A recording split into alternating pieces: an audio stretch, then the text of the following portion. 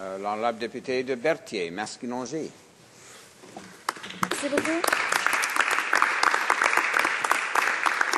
Monsieur le Président, je m'adresse à la Chambre aujourd'hui pour appuyer le projet de loi de mon collègue, le député de Rosemont, la Petite-Patrie. Le projet de loi C-307 vise à modifier le Code canadien du travail afin de permettre aux employés anciens à l'attente de se prévaloir la législation provinciale en matière de santé et de sécurité au travail.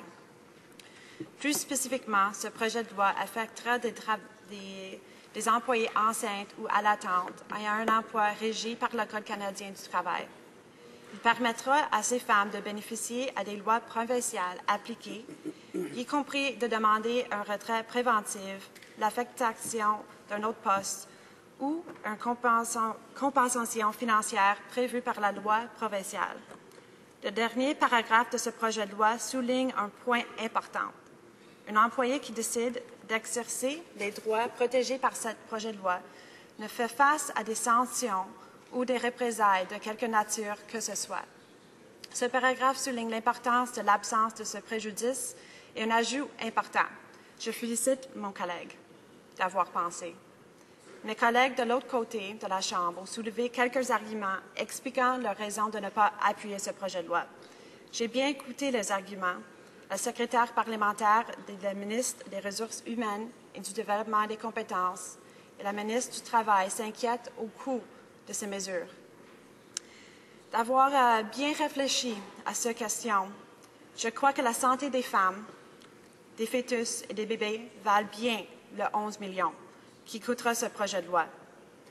11 millions me paraît bien lorsqu'on pense à ce qu'on peut accomplir à ces nouvelles protections pour les travailleurs au Canada. Ce que mon collègue de Rosemont, la Petite Patrie, propose, c'est d'assurer la santé et la sécurité des mères et des futures mères.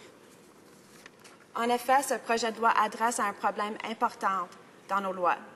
Présentement, une femme enceinte ou à l'attente doit assurer les coûts d'un congé sans solde, afin d'assurer sa sécurité et celle de son fœtus. Le programme d'assurance emploi n'est pas une grande aide non plus.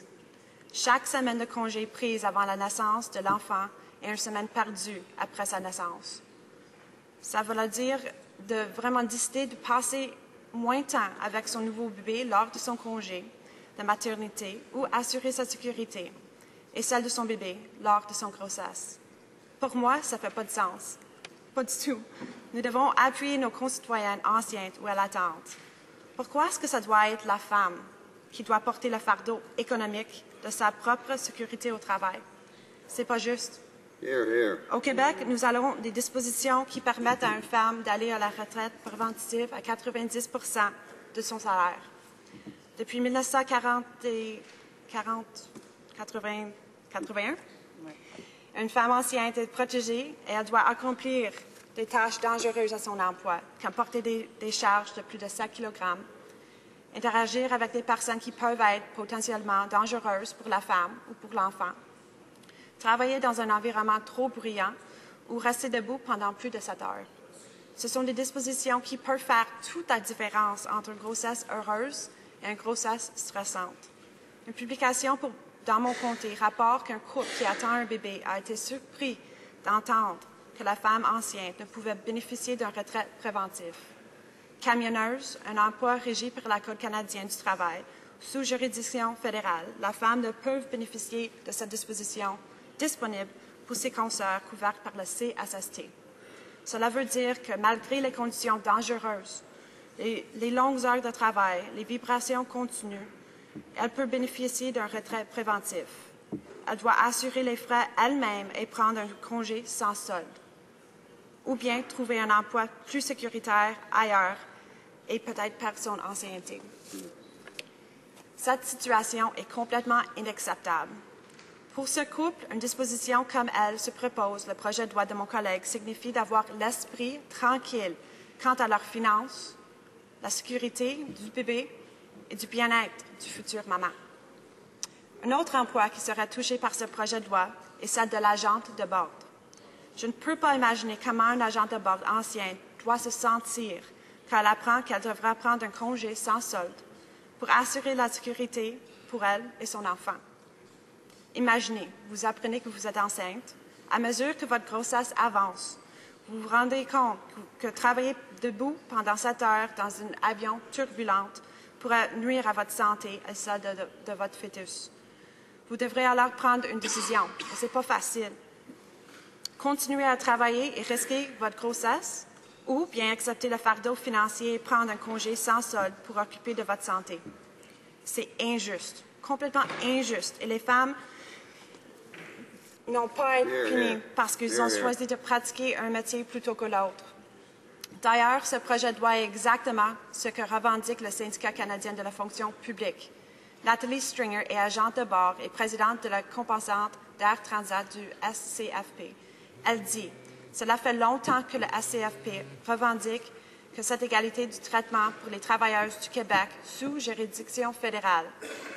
Dans ce domaine de transport aérien, par exemple, plusieurs agents de bord sont confrontés avec des choix difficiles entre leur situation économique et des risques de santé. Comme c'est la santé des femmes enceintes et les enfants à naître qui est en jeu, nous comptons sur tous les députés de la Chambre des communes pour appuyer cette excellente initiative et de ne pas faire un enjeu partisan. Parlons-nous de la sécurité. Parlons-nous de la sécurité des femmes, des fœtus et des bébés. Nous parlerons de l'égalité des femmes et nous parlons du filet vital pour assurer une société juste, équitable et en santé. Si on veut vraiment aider les familles canadiennes, il faut passer aux paroles, aux actes. Il faut arrêter de pénaliser les femmes enceintes. J'encourage tous mes collègues d'appuyer ce projet de loi afin de réellement faire une différence dans la vie des milliers de, familles et à contribuer à la société juste. Merci.